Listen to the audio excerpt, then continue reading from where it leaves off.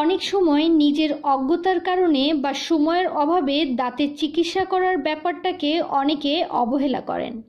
কিন্তু তারা নিজেরাই জানেন না তাদের এই অবহেলায় ছোট্ট একটি দাঁতের সমস্যা থেকে সৃষ্টি হচ্ছে অনেক বড় সমস্যা, যার ফলে আর্থিকভাবেও তারা ব্যাপকভাবে ক্ষতিগ্রস্ত হচ্ছেন।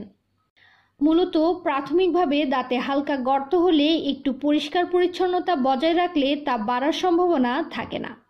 এরপরও যদি দাঁতের গর্ত বেড়ে যায় বা খাবার আটকে থাকে বা হালকা শিশির অনুভূতি হয়, তাহলে গর্ত হওয়া স্থানে ফিলিং করিয়ে নিলে পরবর্তী ক্ষয় বা ব্যথা থেকে মুক্তি পাওয়া সম্ভব।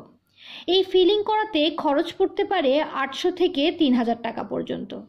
কিন্তু অবহেলার কারণে চিকিৎসা না করালে এই গর্ত আরও বড় হয়ে এনামেল এবং ডেন্টিন লেয়ার পার হয়ে পাল্প বা মজ্জায় চলে যেতে পারে। যার ফলে শুরু হয় তীব্র ব্যথা। দাঁতের ক্ষয়, পাল্প স্পর্শ করে পাল্পে ইনফেকশন সৃষ্টি করলে রুট ক্যানেল চিকিৎসা করা বাধ্যতামূলক হয়ে যায়।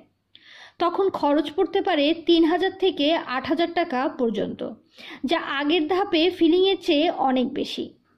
কিন্তু পাল্প ইনফেকশন হওয়ার পরও যারা দিনের পর দিন ফার্মেসির দোকান থেকে ব্যথার ওষুধ কিংবা অ্যান্টিবায়োটিক ওষুধ খেয়ে ব্যথা কমিয়ে রাখেন, তাদের ক্ষেত্রে আস্তে আস্তে পাল্পের ইনফেকশন দাঁতের গোড়া পার হয়ে চলে যায় মাড়িতে।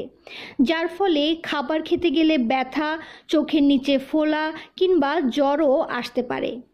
এই ক্ষেত্রে রুট ক্যানেল চিকিৎসা করা সম্ভব হলেও মাড়ির ইনফেকশন কমানোর জন্য রুট ক্যানেল চিকিৎসার সময় এবং খরচ দুটাই তখন অনেক বেশি বেড়ে যায়। অনেকে আবার এই পর্যায়ে এসেও চিকিৎসা না করে হাইডোজ অ্যান্টিবায়োটিক খেয়ে ব্যথা কমিয়ে থাকেন। তাদের ক্ষেত্রে পরবর্তীতে মাড়িতে সিস্ট বা অ্যাপসিস হয়ে মুখে এই রকম ফোলাও সৃষ্টি হতে পারে। এই ধরনের ক্ষেত্রে অনেক সময় দাঁত ফেলে দেওয়াও লাগতে পারে।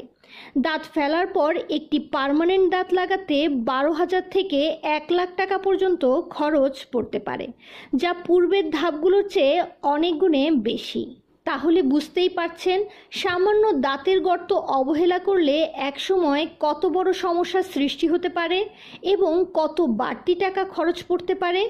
তাই এখনও যারা দাঁতের বিভিন্ন সমস্যায় ফার্মেসি থেকে ওষুধ খেয়ে শুধু ব্যথা কমিয়ে চলাফেরা করছেন, আশা করছি আজকের এই ভিডিওটি তাদের কিছুটা হেল্পফুল হবে। ভিউয়ার্স, আশা করছি আজকের ভিডিওটি আপনাদের ভালো লেগেছে।